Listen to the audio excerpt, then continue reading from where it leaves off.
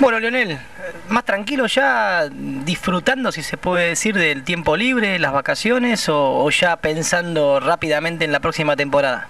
No, disfrutando, disfrutando porque eh, pasamos muchas cosas difíciles en el año, empezando por la, enfermedad de Felipe.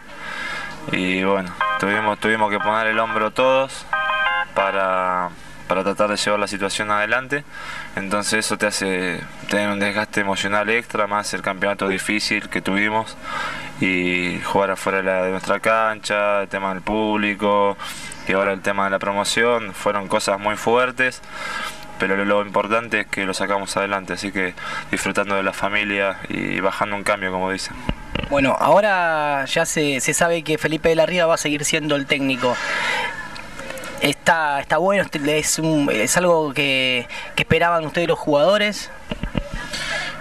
Sí, independientemente que yo me quede o me vaya, te lo digo con la mano en el corazón, creo que es lo mejor para, para Merlo. No sé qué otro técnico estaba en los planes del club o de los dirigentes o de la gerenciadora, pero creo que en este momento es lo mejor porque él es un técnico que viene trabajando con la base del equipo y, digamos que ya tienen la experiencia de un año en la categoría.